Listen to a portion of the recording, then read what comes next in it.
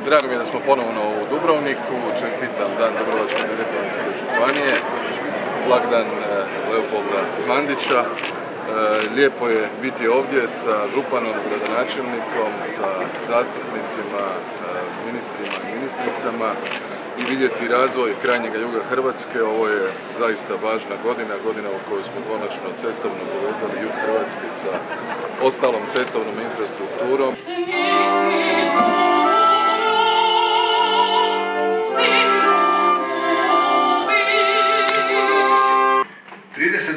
Put bio je za županiju zahtjevan, ali možemo ustvrditi i veoma uspješan. Uspjehu su pridonijeli mnogi. Ponajprije su to naši branitelji, koji su svojom hrabrošću i spremnošću na žrtvu branili i oslobodili ovaj prostor, time nam omogućili život i razvoj u slobodi i demokraciji. To su svakako naši poduzetnici, lokalna samouprava.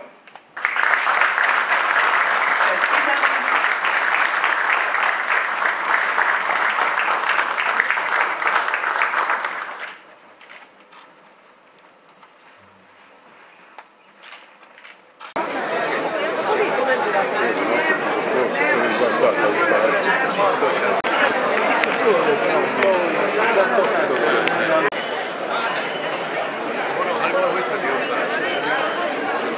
Mongol gorduja.